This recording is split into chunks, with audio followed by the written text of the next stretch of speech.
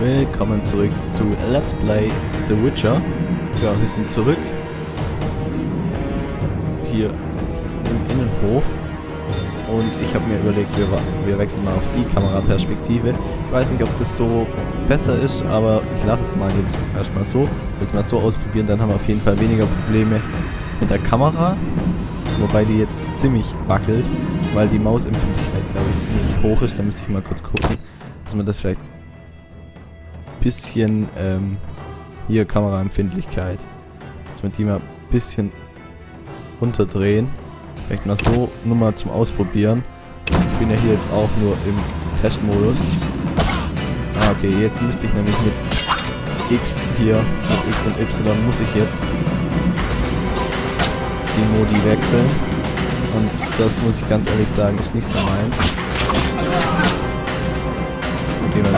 Den Kameramodus. Ist besser so.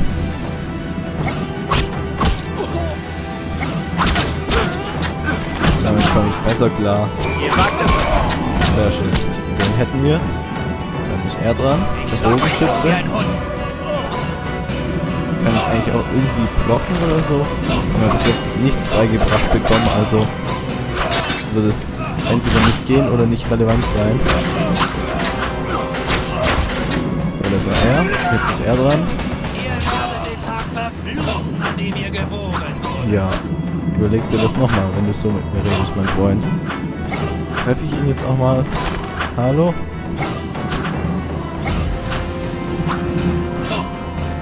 Junge, Oh, falscher. Ja, ich bin aus dem Depp. Falscher Kampfmodus. Ich kann ihn ja gar nicht treffen. Dass ich den Bogenschützen glatt gekriegt habe, war also Zufall.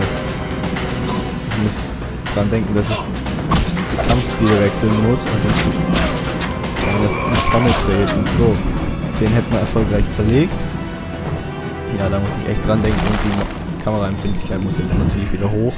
Sonst können wir das vergessen können wir jetzt sogar ein bisschen noch höher machen. Dann kann ich leichter drehen am Bildschirmrand. Okay, dann machen wir die vielleicht mal ganz hoch. So, Kameramodus heißt Hybrid. Das, was wir jetzt haben, das ist so meins. So können wir die Kamera jetzt ein bisschen schneller drehen am Bildschirmrand. Das ist gut so. Zitadelleneingang. Die Frage ist, will ich da schon rein? Ich glaube es ja nicht. Ich will da unten das Tor aufkriegen für die anderen. Das ist das, was wir vorhaben. So. Kann ich den mit dem Kampfmodus machen? Ich glaube ja nicht, ne? Ne. Okay, der Bogenschütze hier braucht auch den kleinen Kampfmodus. War es vorher kein Klick, sondern hat einfach nur so funktioniert. Er müsste allerdings jetzt mal stehen bleiben, dass ich ihn auch treffen kann. Immer abhauen. So, komm schon. Schön verkettet. Das war's mit ihm. Dann schnappen wir uns mal einen Nest, kämpfen uns mal da zum Tor vor.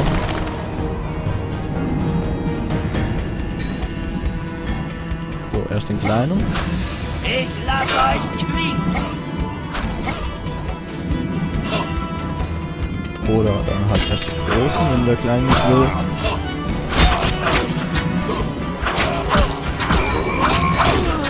Nice. Würde mal gerne wieder einen betäuben. Dann kommt nämlich wieder schön auf Finisher. Das ist er. So, Kampfmodus gewechselt. Das ist besser so, dann kann ich besser damit klar, wenn ich mit der Maus alles machen kann. Und nice. Muss das Tor öffnen. Linksklick auf die Winde. Okay, drückt Alt, um alle benutzbaren Gegenstände in der Nähe zu markieren. Ähm, Achso, wird dann nur angezeigt. Okay. Ich dachte, es leuchtet jetzt so wie... Okay. Dann machen wir mal das Tor auf, dass hier die Leute auch mal rein können. Chris und Wesemir und Weskel. Wobei die Banditen gerade schon ziemlich auf den Sack bekommen. Jetzt kommt allerdings er hier. Und dann wird die ganze Sache ein bisschen schwieriger. Ja komm, rein mit euch. Und Tür dazu. Ja, oder so. Man muss ja nicht zwangsläufig immer alles kaputt machen, aber okay. Verdammt, Geralt. Es ist ein Wunder, dass ihr noch lebt. Das mit der Treppe hättet ihr mir auch sagen können. Lambert und Eskel wollten sie gestern eigentlich reparieren. Wir sind keine Maurer. Egal. Der Professor und der andere Magier müssen sich im Burgfried verstecken. Seht der Wahrheit ins Auge, Hexer. Sie sind hier, um euch zu berauben. Trish, Kind, wir besitzen nichts Wertvolles. Etwas guten Stahl, Schneefuchspelze. Ich meine das Labor, das wisst ihr genau. Jemand will eure berühmten Mutagene. Ihr zieht voreilige Schlüsse. Triss könnte recht haben. Wir müssen herausfinden, was sie wollen. Eins nach dem anderen. Wir sollten einem starken Magier mit einem Furchtbringer nicht den Rücken zudrehen. Und ihr dürft die Banditen nicht ins Labor lassen. Wie üblich habt ihr recht, Triss. Gerald, ihr kennt euch mit Magiern aus. Findet heraus, was der hier will. Leo wird euch führen. Nur Aufklärung oder... Niemand ist traurig, wenn ein paar von denen einen Kopf kürzer gemacht werden. Ihr schafft das, Wolf. Aber vergesst nicht, dass Leo bei euch ist. Ich schaffe das schon. Wir sehen nach, was da drin los ist und kommen dann zurück. Nehmt für alle Fälle diese Tränke. Trinkt Donner jetzt und hebt Schwalbe auf, falls ihr Heilung braucht. Ich kann euch erklären, wie sie wirken. Wir sorgen dafür, dass sonst niemand reinkommt. Triss, ihr bleibt bei uns. Nur falls Savolla etwas Neues einfällt. Alles klar. Öffne das Inventar durch Linksklick auf das Ranzensymbol oder Druck auf I, um Zugang zu Gegenständen zu erhalten. Rechtsklick auf den Donnertrank, um ihn zu benutzen. Tipp, zieht Tränke aus dem Inventar auf Schnellfächer, die euch eine schnellere Benutzung ermöglichen. Alles klar. Wir machen hier auf. Zack. Donner, Schwalbe. Das sind hier die Schnell Schnellfelder. Tränke Schnellfach. Was? Donner sollen wir trinken. Zack. Äh, okay. Effektsymbol. Donner. Doppelter Schaden, Ausweicheneffizienz um 50% erhöht, Parieren auf 50% reduziert. Hält 8 Minuten. Nice. Und Schwalbe kann man mal da reinhauen. Okay. So, wo liegt die Schwalbe jetzt? Hier. Okay, wenn ihr links klickt, dann... Okay. Alles gut. Soweit. Alles klar. Wo müssen wir jetzt hin? Leo? Zeigt da hoch. Also mal Triss hinterher. Mal schauen. Ah, okay, da ist Leo, der wartet schon auf uns. Willkommen. Also rein mit uns. Jetzt geht's hier rein. Zitadelleneingang. Ab. Rein in Kermorhen. Nicht nur der Außenhof, jetzt geht auch rein. Ich kenne alle Balladen, die Rittersporn über euch verfasst hat. Lambert sagt, dass ich nie so schnell wie ein echter Hexer sein werde. Aber heute beim Training konnte ich ihn treffen. Ihr habt Lambert geschlagen? Wir haben gefochten, als dieser seltsame Sturm kam. Lambert sah weg, ich machte eine Drehung und traf ihn am Bauch. Aber er fiel nicht und besiegte mich dann doch. Ihr werdet bestimmt noch ein guter Schwertkämpfer. Ich weiß. Jedes Mal, wenn Lambert mich besiegt, sagt er, dass ich Potenzial habe. Alles klar. Neuer Eintrag im Tagebuch. Tagebuch. Wir schauen einfach mal. Quests, Verteidigung von Kermorhen, der Trank. Ich habe den Donnertrank getrunken. Jetzt muss ich die Festung betreten und das Kellerlabor aufsuchen. Alles klar. Das machen wir auch gleich. Charaktere. Der Professor. Der Professor, einer der Anführer des Angriffs der Salamandra auf Kermorhen war ein Mann, der Professor genannt wird, offenbar ein listenreicher Heuchler. Der andere Führer, der andere Führer. so viel dazu. Der andere Anführer war ein Magier. Eskel, der ruhige und vernünftige Hexer aus Kermorhen ist mein Gefährte. Ich frage mich, woher seine entstellende Narbe stammt. Tja, gute Frage. Lambert, der junge Hexer, den ich in Kermorhen traf, hat wirklich eine scharfe Zunge. Triss Merigold gegenüber ist er besonders unhöflich. Er spricht sie mit ihrem Nachnamen an. Das haben wir schon mitbekommen. Leo. Leo ist der jüngste Bewohner von Kermorhen. Er ist kein vollwertiger Hexer, denn obwohl er seine Ausbildung abgeschlossen hat, wurde er noch nicht der Mutation unterzogen. Leo macht einen unerfahrenen, hitzköpfigen Eindruck, aber er ist gutherzig und freundlich. Es scheint, dass Leo von mir fasziniert ist. Ich wurde sein Idol, als er die Balladen über den weißen Wolf gehört hatte. Wesemir. Wesemir ist der älteste und erfahrenste Hexer, wahrscheinlich älter als Kermorhen selbst. Er verbringt jeden Winter in der Festung und bricht im Frühling wie alle anderen auf, und durch die Welt zu ziehen. Wesemir ist trotz seines hohen Alters rüstig und vollen, voller Leben. Viele Jüngere könnten ihn um seine Gesundheit beneiden. Er ist ein ausgezeichneter Fechter und hat mich im Schwertkampf ausgebildet. Also Gerald. Orte, Kermorhen. Kermorhen ist eine unzugängliche Bergfeste, in der seit Jahrhunderten die Hexerzunft ihr Hauptquartier hat. Der Name leitet, leitet sich aus der Elfensprache ab, in der Ker Muirehen so viel wie Festung vom Alten Meer heißt.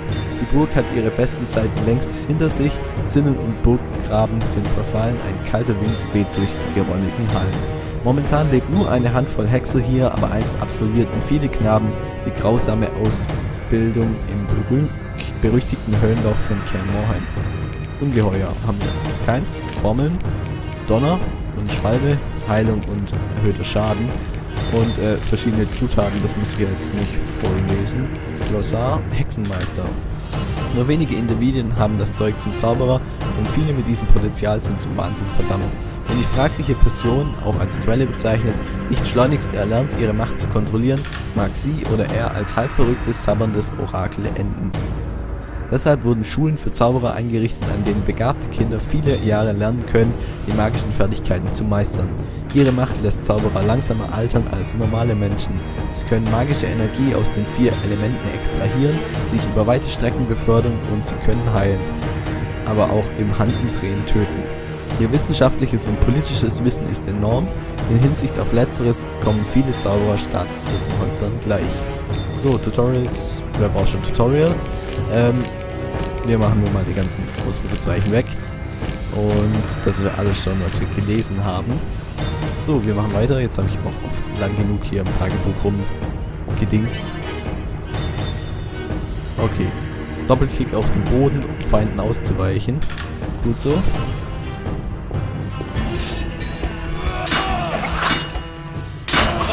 Kampfmodus.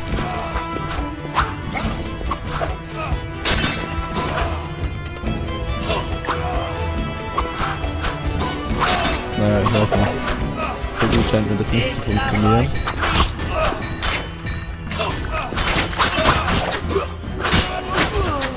So, das war er.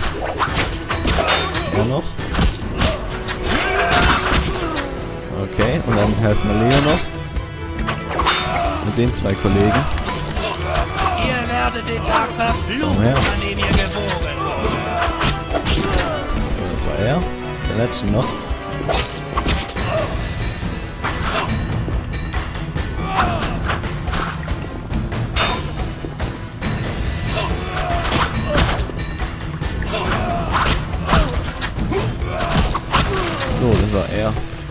Ähm, ich gucke eigentlich gerade hier mal.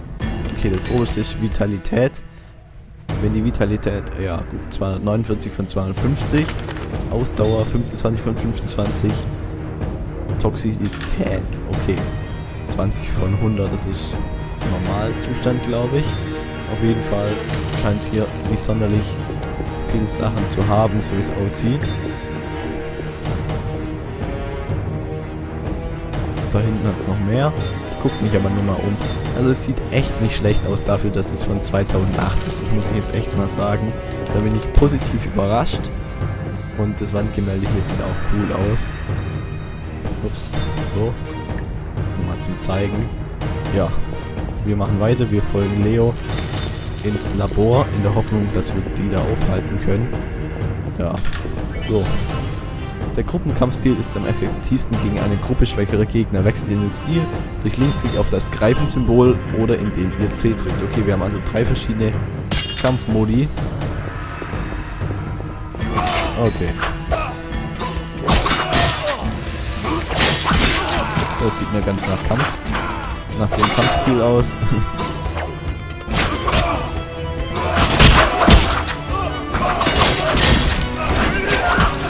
ja.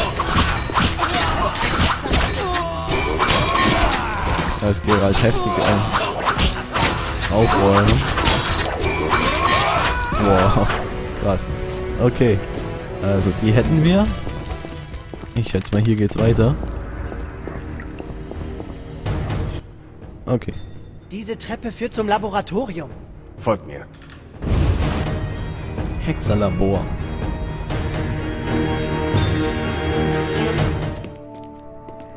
Die Energie, die ihr dem Kreis der Elemente entzogen habt, reicht sie, um die Hexe aufzuhalten? Ihr zittert ja, dabei hattet ihr euch doch beschwert, dass Savolla keinen von ihnen für euch übrig lassen wollte. Jagt euch der Anblick eines einzelnen Hexers des Weißen Wolfs persönlich Angst ein?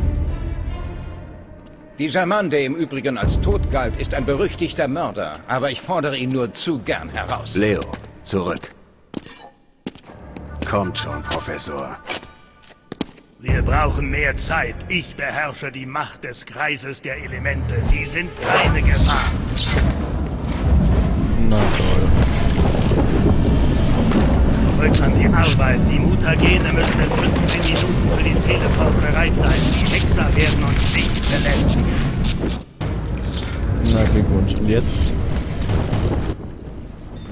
Der Weg ist versperrt. Die Treppe ist blockiert. Die magische Barriere sieht stabil aus. Wir brauchen Triss. Die rauben uns aus. Gerald, macht oben den Weg frei. Nutzt ein Zeichen. Ein Zeichen? Das Art. Ich kann es nicht mehr wirken, seit ich mir beim Training die Finger gebrochen habe. Wirkt das Art auf den Schutt. Ich erinnere mich nicht an die Zeichen. Gehen wir zum Kreis der Elemente, eine Quelle der Macht. Ihr müsst versuchen, das Art zu erlernen. In Ordnung. Ja. Hexe können natürlich Zeichen einsetzen, auch wenn es Gerald jetzt im Moment verlernt hat. So, muss Leo folgen und das Zeichen Art erlernen. Lernen? Ja, das machen wir. Wir sind in der Gruft. Da ist der Kreis der Elemente. Links klickt auf den Elementarstein, um ein Zeichen zu erlernen. Schaut euch später im Spiel nach anderen Elementarkreisen rum, um neue, um, um neue Mächte zu erlernen. Alles klar. So.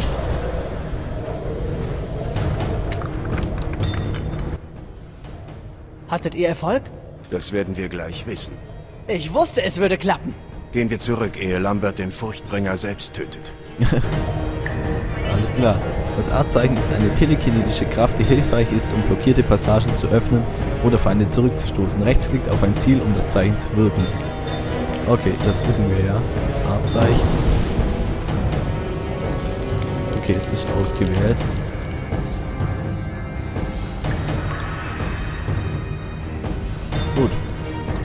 Dann äh, ist Leo hin? Da vor uns irgendwo. Den Weg wieder zurück. So geht's eigentlich von der Steuerung. Da bin ich ganz zufrieden so. Okay, hier. Das funktioniert auch gut. Außenbereich von Care Morhen, es geht wieder nach draußen. Was konntet ihr in Erfahrung bringen? Die Banditen sind im Labor und suchen nach etwas. Der Magier hat mit Hilfe des Kreises der Elemente eine magische Barriere erschaffen. Ihr dummen Kinder. Wieso habt ihr den Kreis nicht erwähnt? Triss, mein Kind, es schien nicht wichtig. Wenn sich der Magier mit dem Kreis verbunden hat, kann er ein stabiles Portal schaffen, durch das er überall hin auf dem Kontinent reisen kann, mitsamt eurer Ausrüstung. Na toll. Gut, wir haben einen Fehler gemacht. Aber ihr habt gesagt, der Magier sei harmlos. Ich sagte, ich kenne ihn nicht. Wir sollten jetzt vor allem das Labor schützen. Keine Panik, Merigold. Wir wissen, ihr wollt gern unsere Hexergeheimnisse sehen. Wesemir, wenn dieser Idiot nicht die Klappe hält, werde ich... Genug. Lambert, hört auf, Triss zu ärgern. Er weist dir etwas Respekt. Triss, wenn wir zum Labor gehen, sitzen wir in der Falle. Von Taktik verstehen wir etwas. Vielleicht sollten wir uns aufteilen. Gerald hat recht. Wir müssen das Labor schützen und den Furchtbringer töten. Wer übernimmt was? Nur ich kann die Barriere durchbrechen. Ich gehe hinein. Wesemir? Ich bleibe hier und kümmere mich um den Furchtbringer und Savolla. Und ihr, Geralt? Wir könnten beide eure Hilfe brauchen. Das Labor ist wichtig, ich gehe mit Triss oder ich kümmere mich, ich kümmere mich mit Wesemir um den Furchtbringer. Hm. Tja, jetzt geht's wieder los mit Entscheidungen bei Witcher. Auch Teil 1 lässt uns davon nicht verschont. Ähm, Furchtbringer kriegen die auch so hin, wir gehen mit Triss zum Das Labor. Labor ist wichtig. Ich gehe mit Triss. Ich auch. Damit wäre das entschieden. Eskel und Lambert bleiben bei mir. Savolla hat gerade einen Zauber gewirkt. Etwas geht hier vor. Der Boden bebt. Spürt ihr es? Sie brechen durch.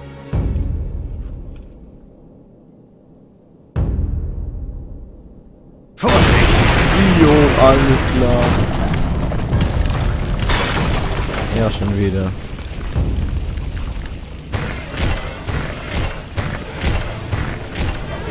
Ach, jetzt eine kleine Hausfeuerstrecke ist auch wieder am Start. Dann komm, mach die Blatt. Schnell, verteidigt das Labor. Wir fetzen ins Labor. Ja, unglaublich. Ich hoffe, die kriegen das hin. Okay, moin, es geht wieder rein.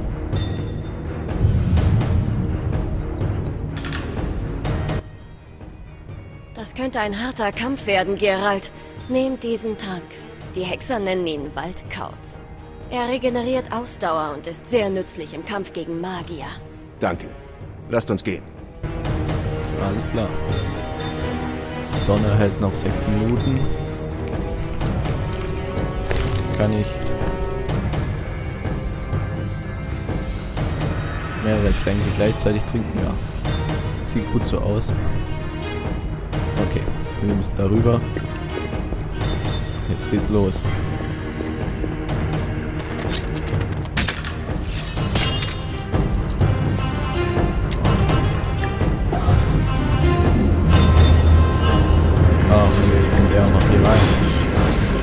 Triss, mach ein Blatt.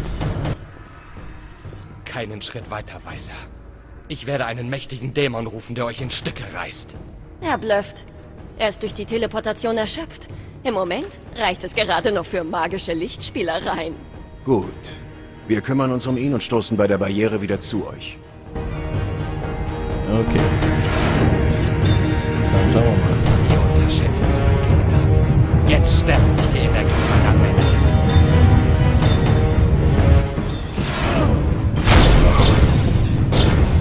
Okay, wir müssen erst die Typen umbringen, glaube ich.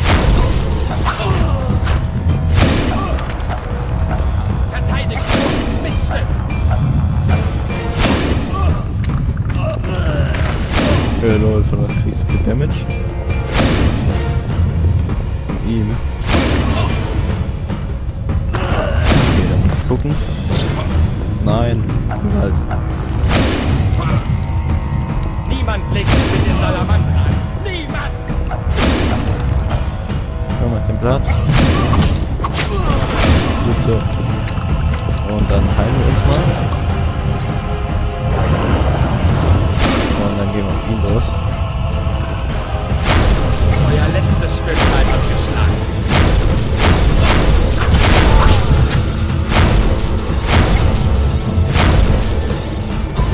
Okay. Ja, lol, wo ist er jetzt wieder hin?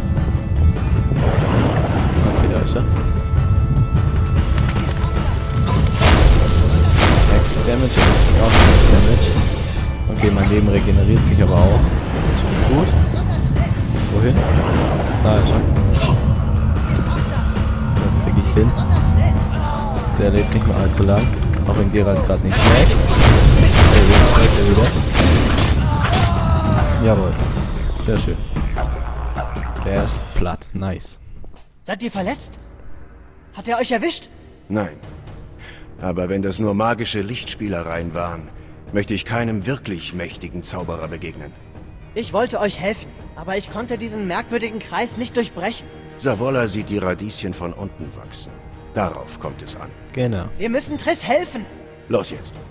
Genau, ab zum Labor. Unser Leben regeneriert sich wieder, das finde ich gut. Ähm, wir müssen nach da hinten. Wieder zurück ins Labor.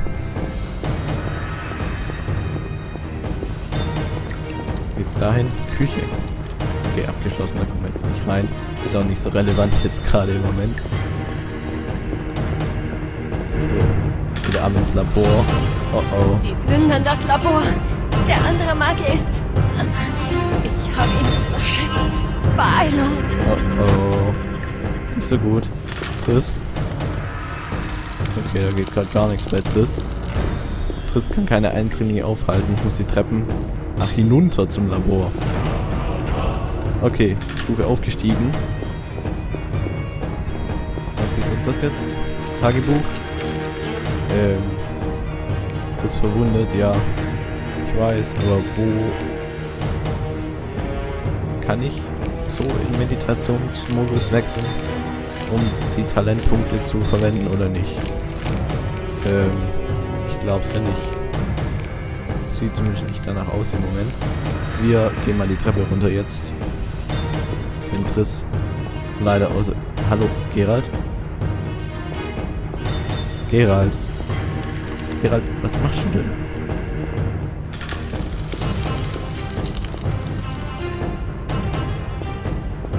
Ja, dann gehen wir halt rückwärts die Treppe runter. Wollte gerade irgendwie nicht.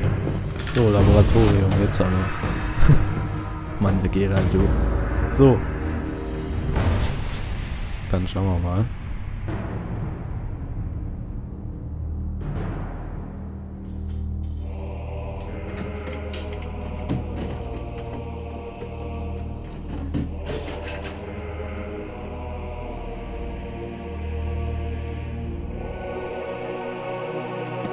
Das ist es. Wir haben, was wir wollten.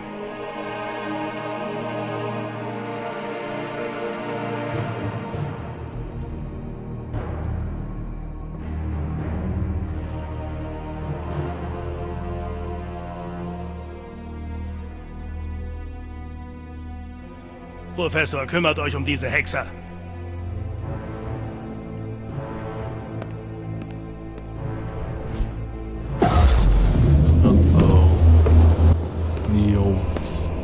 Es heißt, Hexer könnten Bolzen im Flug abwehren.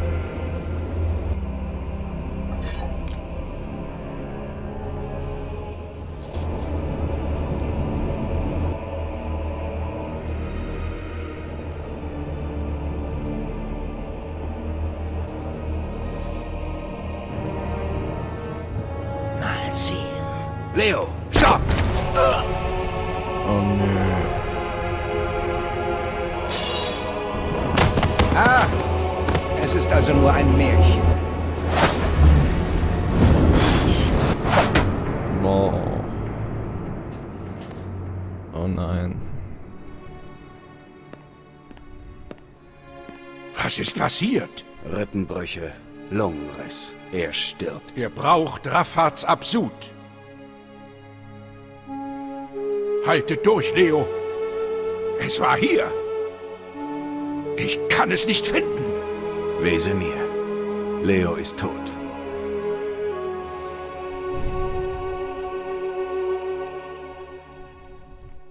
Er ist tot und die Mutagene sind weg. Wie ist das passiert? Er hat den Professor angegriffen. Ich kam zu spät. Es ist nicht eure Schuld, Gerald. Wir sind alle verantwortlich. Triss hat für uns gekämpft und es kaum geschafft. Es sind schlechte Zeiten für Hexer. Und etwas sagt mir, sie werden nur noch schlechter. Ist es da oben sicher? Relativ. Da oben sind ein paar Nachzügler, aber um die kümmern wir uns später. Ihr seht müde aus. Ich möchte, dass ihr euch ausruht. Ich halte Wache und kümmere mich um Leos Leichnam.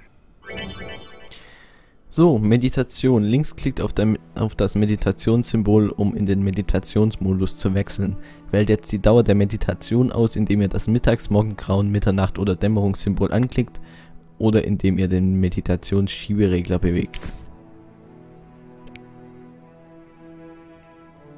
Wir sehen uns später.